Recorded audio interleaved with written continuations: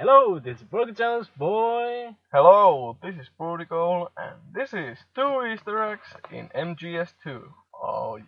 Good game. Very good.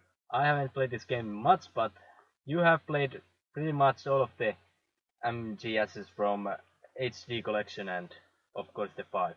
Oh, yeah, I have played, and I absolutely love them. Did you play the fourth one? Uh, no, I didn't have a chance because I don't own PlayStation 4, but uh, I mean 3. But to this Easter egg, uh, this is in the beginning of the game, and there's a poster in this locker. it's a poster of a woman, as you Yeah. can see. Nothing. Pretty good looking too. Yeah. So if you zoom close to her, not him, she's a woman, uh, Snake kisses the poster and you can hear the sound. Yeah, it, first time I did it, it was by accident, and oh god, I was fooled. and if you tap the poster, enemies will be alerted. And then you must hide. Fuck! I didn't know that. And then these two guys you can see from the upper uh, upper right the screen, two guys coming in and they're like, what the fuck? oh shit, she's hot. And the other guy's like, oh, this is getting a little bit weird. We should go. And the other guy looks back.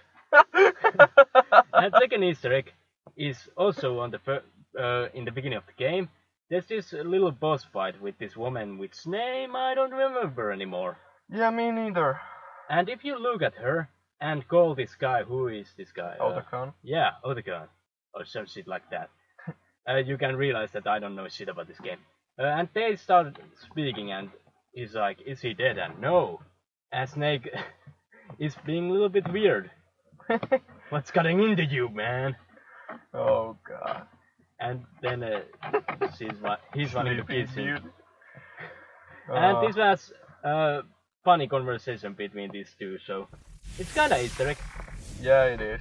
Bye. Bye.